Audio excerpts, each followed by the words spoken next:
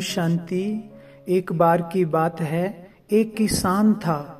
इस बार वह फ़सल कम होने की वजह से चिंतित था, परेशान था।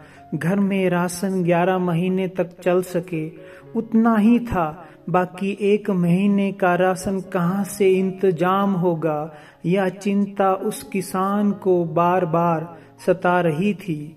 किसान की बहू का ध्यान जब उनकी ओर गया तो उनसे उन्होंने पूछा, पिताजी, आजकल आप किसी बात को लेकर चिंतित नज़र आ रहे हैं?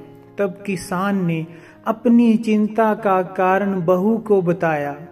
किसान की बात सुनकर बहू ने उन्हें आश्वासन दिया कि वह किसी भी बात की चिंता ना करें।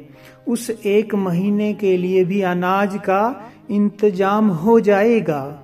जब पूरा वर्ष उनका आराम से निकल गया। तब किसान ने पूछा कि आखिर ऐसा कैसे हुआ?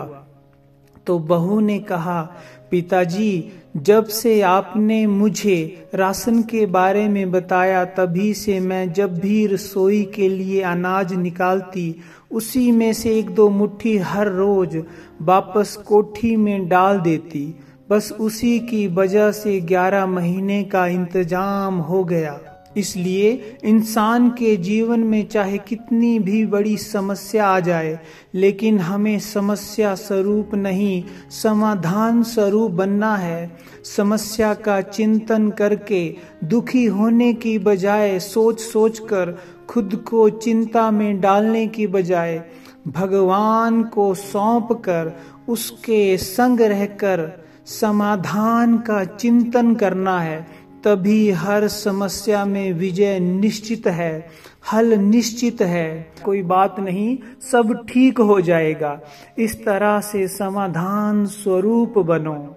तो जीवन में हर समस्या, बड़ी से बड़ी समस्या भी टल जाएगी, खत्म हो जाएगी। ओम शांति।